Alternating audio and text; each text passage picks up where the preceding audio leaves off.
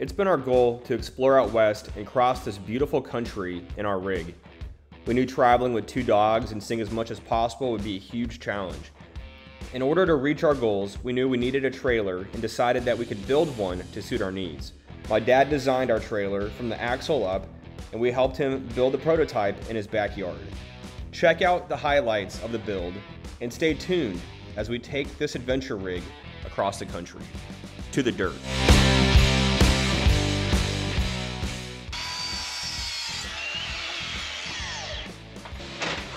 Starting to get hot.